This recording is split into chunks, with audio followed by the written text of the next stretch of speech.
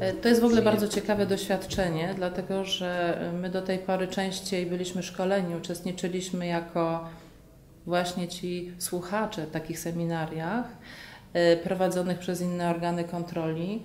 E, to jest dla mnie pierwsze doświadczenie takie, kiedy mogę o tych naszych doświadczeniach powiedzieć komuś, kto chce się uczyć od Najwyższej Izby Kontroli. To seminarium w Polsce jest częścią szerszego programu szkolenia i podnoszenia kwalifikacji naszych kontrolerów. Staramy się, by odbywali takie spotkania w różnych europejskich instytucjach kontrolnych, które są naszymi instytucjami partnerskimi. Chcemy bowiem wdrażać do naszej praktyki unijne standardy kontroli.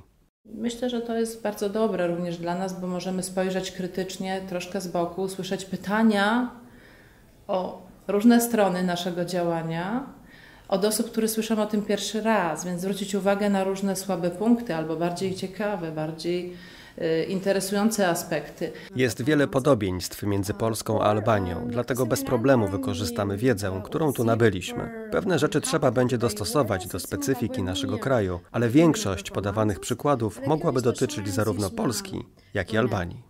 Oni zresztą zadając te pytania też zainspirowali nas do pewnych przemyśleń dotyczących także i, i, i właśnie naszej kontroli wykonania zadań i tych naszych raportów końcowych, e, tak zwanego oddziaływania raportów końcowych, wdrażania naszych wniosków.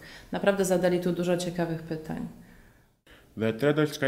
Jestem bardzo pozytywnie zaskoczony rolą, jaką spełnia NIK w polskiej rzeczywistości, jaką pozycję ma w waszym kraju. Wasza instytucja pełni funkcję rzecznika społecznego. Naciska na administrację rządową oraz na inne urzędy, by wydawały publiczne pieniądze nie tylko zgodnie z prawem, ale tak, żeby realnie poprawić sytuację obywateli, podnosić standard ich życia. I właśnie tak zdefiniowaną misję, taką rolę chcielibyśmy zobaczyć również w działaniach naszego Urzędu Kontroli w Albanii. Oni się charakteryzują tym, czym powinni się charakteryzować kontrolerzy zajmujący się e, kontrolą wykonania zadań. Są otwarci, bardziej polegają na osądzie, mają takie wielostronne, wielopłaszczyznowe podejście do spraw, którymi chcą się zajmować w trakcie kontroli. Wynieśliśmy z warsztatów dotyczących kontroli wykonania zadań bardzo ciekawą wiedzę. Zawieziemy ją teraz do naszego kraju i będziemy próbować stosować w praktyce. Podzielimy się nią także z naszymi współpracownikami. Mam nadzieję, że przyczyni się to do zwiększenia popularności tej metody i zbliży nas do standardów promowanych przez Intosai. To jest kontrola, która umożliwia y, y, sprawdzenie rezultatów Y, które się osiąga za pieniądze publiczne, a więc idąca nieco dalej swojej filozofii niż y, kontrola finansowa.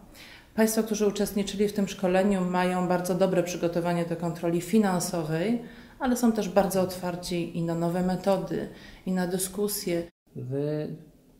To dosyć nowy temat. W Albanii zetknęliśmy się z nim dwa, trzy lata temu. Teraz usłyszeliśmy niezwykle cenne rzeczy o polskich doświadczeniach z tego rodzaju kontrolą.